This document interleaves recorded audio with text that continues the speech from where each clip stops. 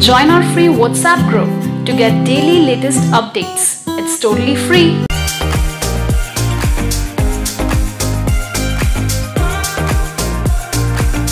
Part 1. Now listen carefully and answer questions 1 to 5.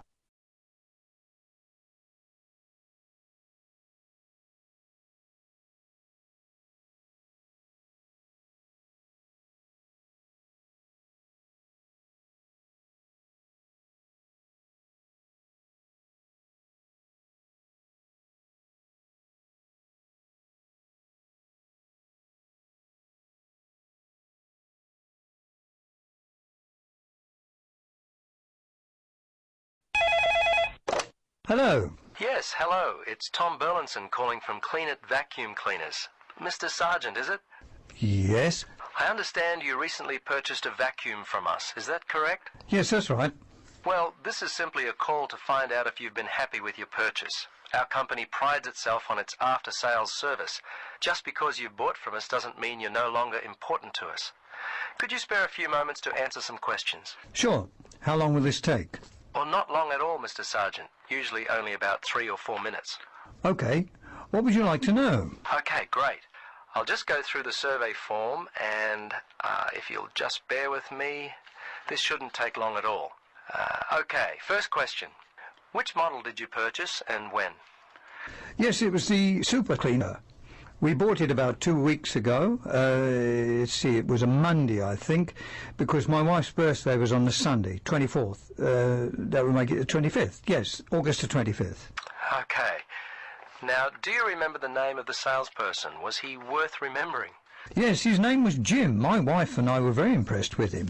He was a great source of information, very helpful. Great. I'll make sure that your kind words about Jim are passed on to him. Okay, now let's see. Ah, yes. Have you purchased any other products from us this year? Oh, let's see. Uh, of course, we bought the super cleaner. I think that's all. Well, we bought some vacuum bags with it as well. Um, uh, I think Daisy bought some carpet cleaner from your store back in February. That's about all, I think. I have to ask my wife about that one. She's not here at the moment. No, no, that's okay. Your answer will do fine. We don't have to be too picky. Okay, so how much money would you say you've spent all told in the store? Just an approximate amount will do fine. Wow, that's a difficult question. Uh, I don't really know. The the vacuum was 150 pounds.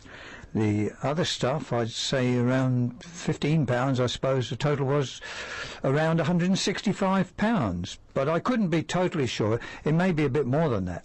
That's fine. That's fine. Now, the next thing on my list is how would you rate the quality of the products you purchased? Good, actually, very good. So far, we've not had any problems with the products from Clean It. Service and value have been very good. So I guess you have a loyal customer. Oh, wonderful. I'm really pleased that your experience with our company has been a positive one. Tell me, do you purchase any other items of cleaning equipment? If so, from whom?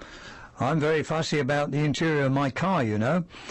The seats and carpets, I found a product from Easy Clean which works well on the carpets and an air freshener from Mr. Tidy that really smells good. Apart from that, oh, I couldn't say for sure. I think my wife buys floor cleaner from Johnson Brothers. Before you listen to the rest of the conversation, you have some time to look at questions 6 to 10.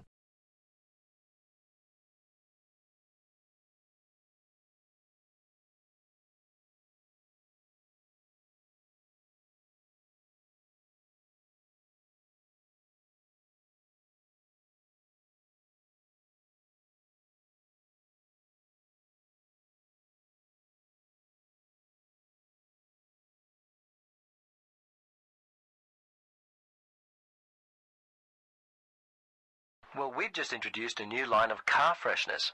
You might like to stop by. We'll offer you a 20% discount.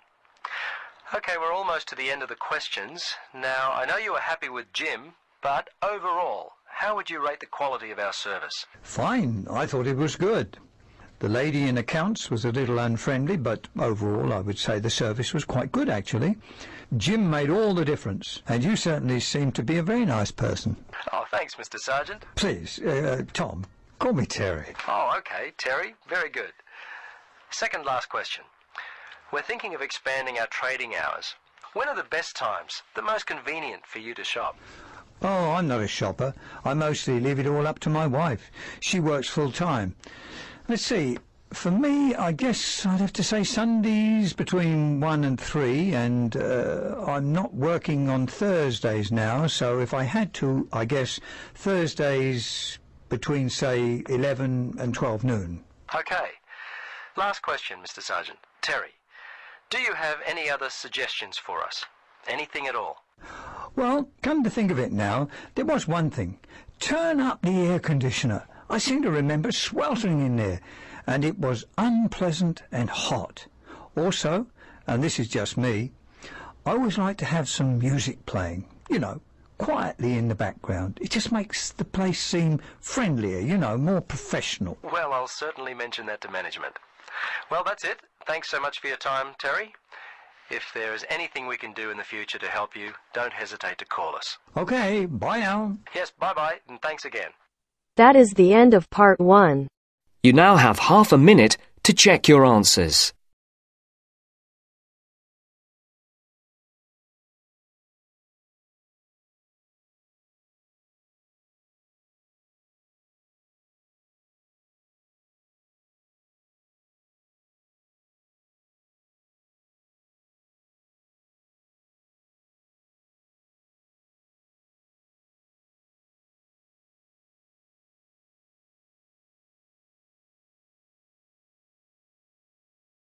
Now turns to part 2. Part 2. You're going to hear a talk by a tour guide about the local history of Harbour Town. First, you have some time to look at questions 11 to 15.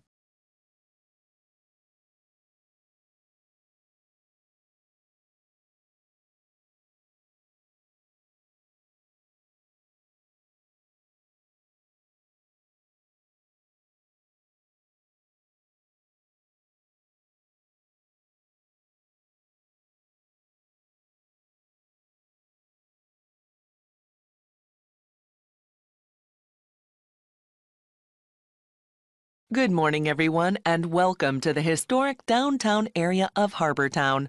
I'm going to give a presentation on the history of the area before I let you all go. There's great weather today, so I'll try to keep this short. So, from this room, you can see most all of the historic area. This intersection is where the city was first founded, about 350 years ago. The San Gabriel River is wide and deep, and it was an excellent waterway for the movement of goods. Harbortown used to produce lots of beef and oranges. Before the city grew, there was lots of open land for grazing and planting fruit trees. They traded these products with other towns and cities. The weather in this region is excellent for growing oranges because there are warm summers and mild winters. Citrus fruits can't survive in places where there is severe frost. At the height of citrus cultivation, there were over 500 orchards growing citrus fruit. Unfortunately, this fertile land also had lots of oil underneath it. In the rest of the country, new technology required the energy found in fossil fuels. After the first oil wells were tapped, agriculture gradually gave way to industry.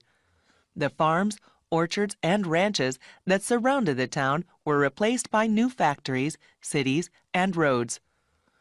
There is very little agriculture in the region these days, and certainly no cattle. The oil eventually ran out, of course, but other industries such as aerospace and entertainment were established. Well, that's a brief history of Harbortown.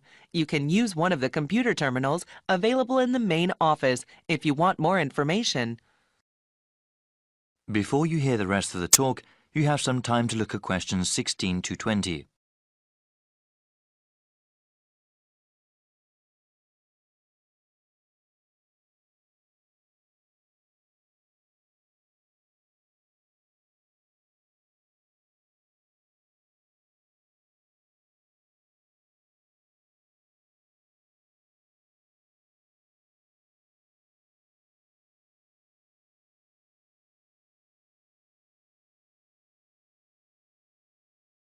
I will highlight some of the sites here just to give you an idea of what we have in the historic center of Harbortown. You can then explore the area as you please. So I've already mentioned the intersection where the city was first founded. The main east west street is called Sunset Road, and the main north south street is called Santa Monica Avenue. The central office we are in right now is at the northernmost end of Santa Monica Avenue. There are public restrooms here, as well as computer terminals that connect to the internet. Across from the central office is the fruit market. At its height, people from all over the country came to buy fruit from the distributors there. If you travel south from the market and go past the intersection, you will see the Ranch Museum. Here you can learn about the old ranching lifestyle that was such a hallmark of our region. Now, going back to the intersection, if you go west of Santa Monica Avenue, you will find Old City Hall. It is an excellent example of the architecture of the time. In the opposite direction, going east of the main intersection, you can see Sunny Movie Studios. They don't make movies there now, of course, but it was the first company to make movies in our region. Also, the subway station is accessible from all four corners of the intersection. If you didn't take the bus here today, I am sure that is where you came from. Well, thanks again, and I hope you enjoy your visit to the historic area of Harbortown. That is the end of part two. You now have half a minute to check your answers.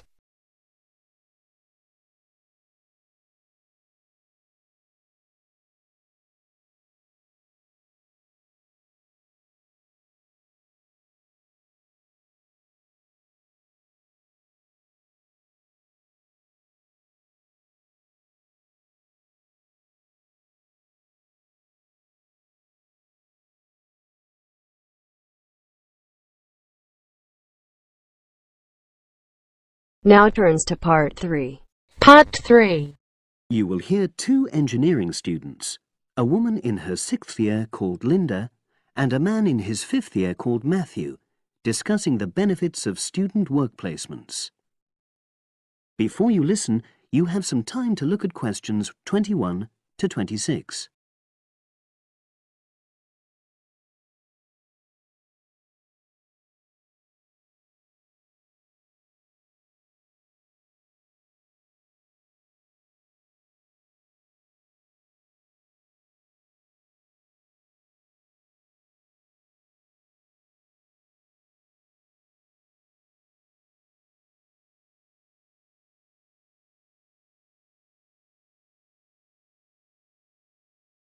Hi, Linda. Can you spare a few minutes? Hello, Matthew. No problem. I just wanted to talk to you about temporary work placements. I've never really thought there was a good reason for doing one. I've got some savings, so I don't really need the money at the moment. But I've had an email from the university about a vacancy that looks quite interesting. You did a placement last year, didn't you? I did, yes. In my case, I wanted to find out if I was making the right career choice before I began applying for permanent jobs. I thought I wanted to work in car manufacturing, but I wasn't sure, so I applied to Toyota. What was the application process like? Lengthy. There were a lot of different parts to it. The dullest one was a psychometric test. You know, when you have to answer loads of questions about yourself. And you're trying to guess what's the best thing to say.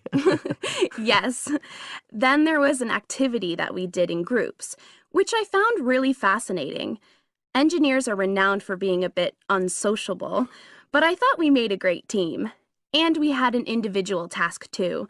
We had to sort through various business documents and prioritize them. It was just like what you have to do as a student, really, just with different content. What exactly were you doing on the placement? I was helping to design some diagnostic software to identify any waste in the car assembly process. Do you mean waste of materials? No, time. Anything that can speed the process up helps to cut costs. How did the work placement compare to being a student? Was it hard work? Yes, it was. I'd had full-time work before. I've done various unskilled jobs during university holidays, and some of those involve long hours. So I thought I'd find it easy. I was wrong, though. I think when you're on placement, you're always trying to prove yourself. So you push yourself hard to succeed? Yes. But I got a lot of support from my employers. They were always helpful. And then, at the end of the placement, I was given formal feedback. Do you mean on your engineering ability? Well, no, I didn't really need that because we had team meetings every other day. And so I had the chance to discuss technical issues and ask about anything that wasn't clear. The evaluation was about general workplace things, like organizational ability, initiative, that sort of thing. I get the impression you think you benefited from the placement. Well, the best thing is that they've offered me a job for next year. Depending on my exam results, of course, but still. A permanent one? Yes. But apart from that, I learned so much. The industrial environment was much more demanding than the academic one, so my general skills improved, like time management, meeting deadlines. And on the technical side, I learned new software packages, like MS Project. Well, I think you've convinced me that work placements are worthwhile, but while you're here, can you give me advice on something else? Before you hear the rest of the conversation, you have some time to look at questions 27 to 30.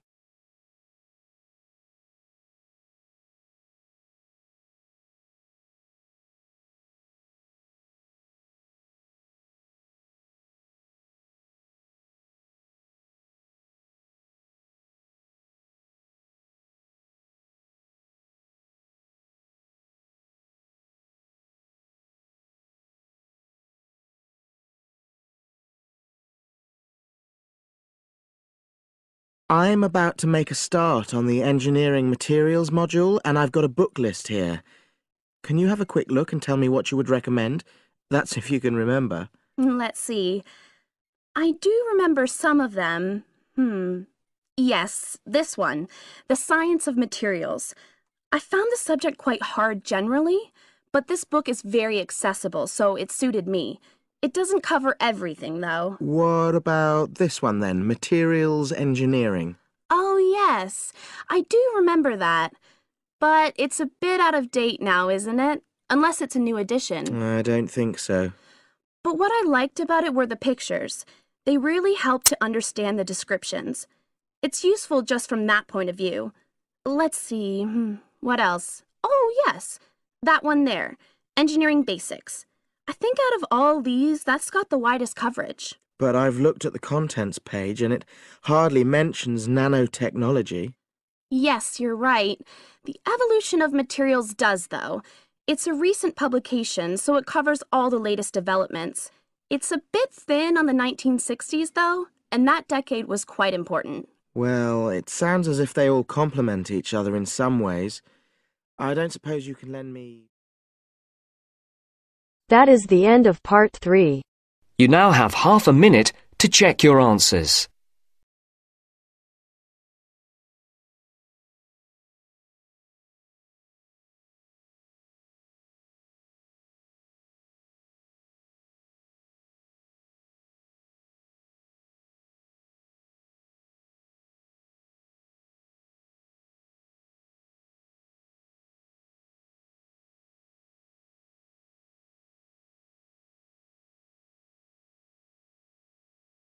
Now turns to part 4. Part 4. You will hear a lecturer giving a talk on cochlear implants. First, you have some time to look at questions 31 to 40.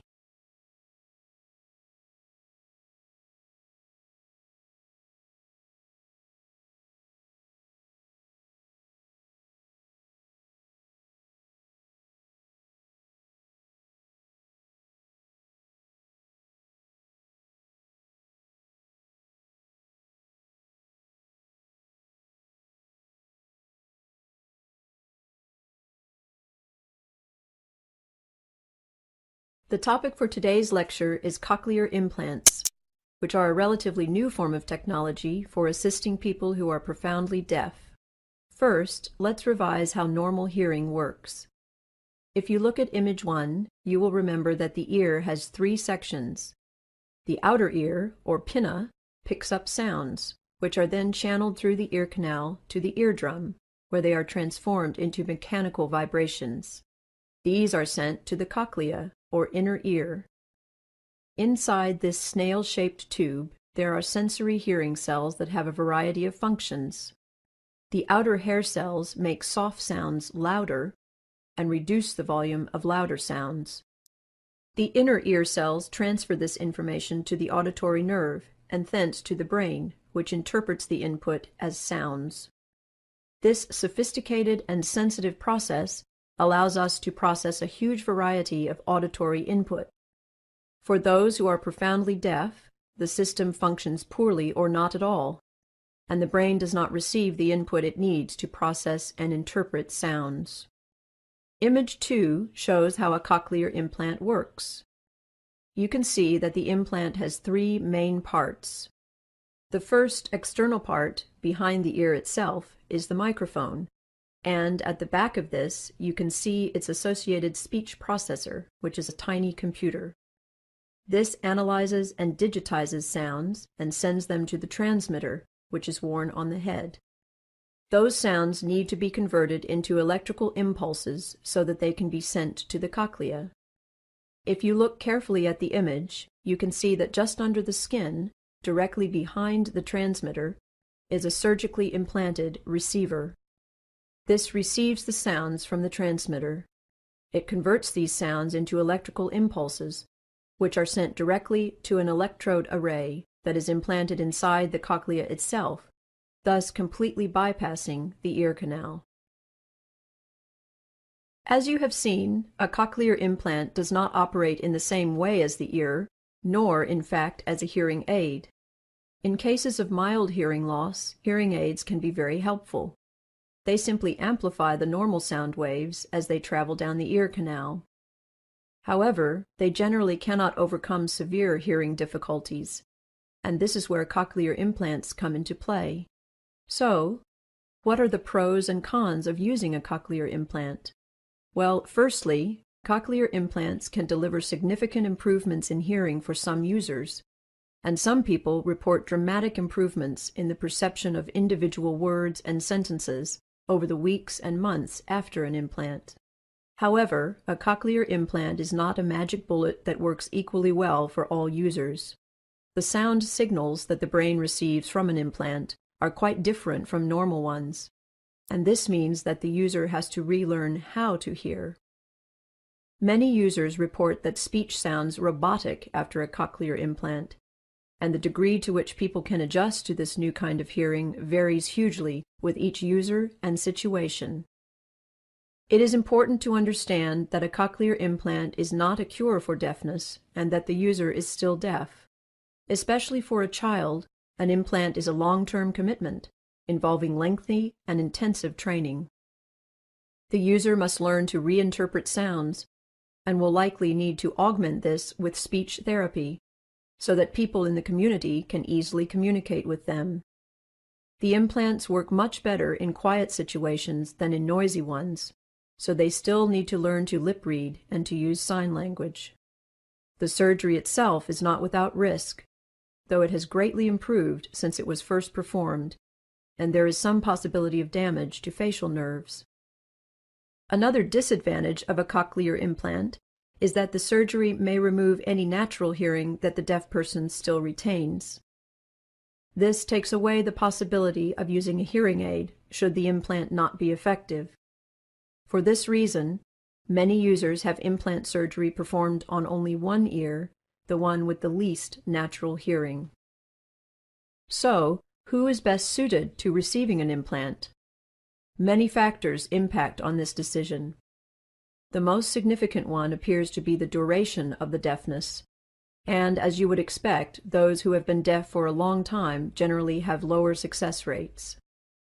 The second related factor is how old the patient was when they became deaf, and maybe more significantly, whether they had learned to speak before they became deaf. Those who become deaf postlingually generally have better outcomes. Another factor is the health and structure of the cochlea and how many nerve cells the user retains. This is related to the cause of the hearing loss, and recent research is exploring how the spinal ganglion or nerve cells are affected by disease. That is the end of part 4. You now have half a minute to check your answers.